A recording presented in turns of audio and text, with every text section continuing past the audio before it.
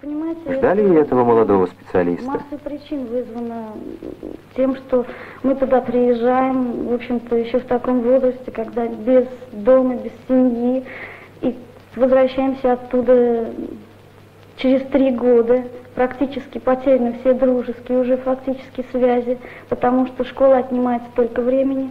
Ну и потом, понимаете, не так важны жилищные условия, как вот именно, так сказать, твоя будущая личная жизнь.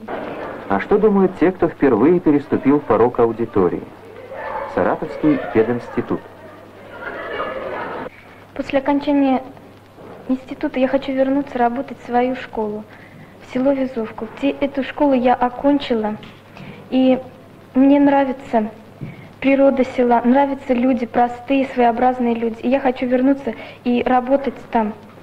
Есть, конечно, в селе много трудностей, но и я хочу попробовать справиться с ними как-то сама.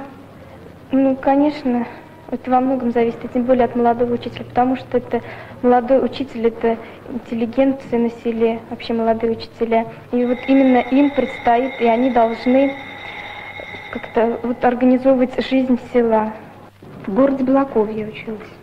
После окончания средней школы я работала пионерской вожатой в сельской школе. И после окончания педагогического института мне бы, конечно, хотелось вернуться в эту школу к этим учителям.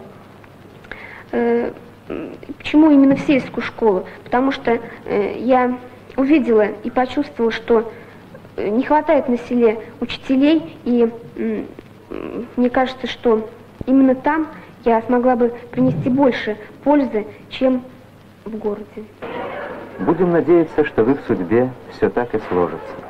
Отдавать людям они будут больше, чем требовать для себя –